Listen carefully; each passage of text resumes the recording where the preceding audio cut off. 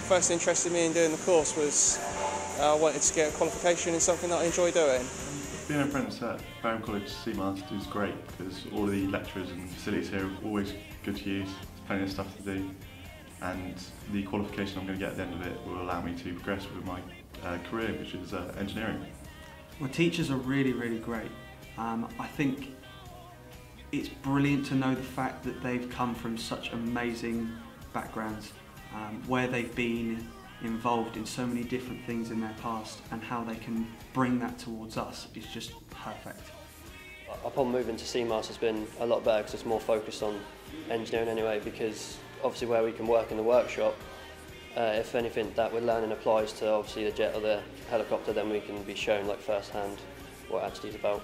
So I live in Hedge End and I find it quite simple to get to CEMAST. Um, I find I take the train from my local station and I get the local CEMAST bus which is a free service that allows me to get from the Fareham train station to CEMAST.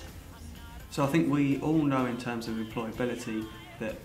from college we are moving on to jobs and the college do a great, great idea of bringing in loads and loads of different companies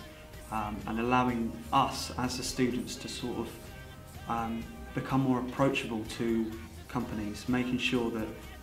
we get a first hand at what the company offers and what we can get out of it.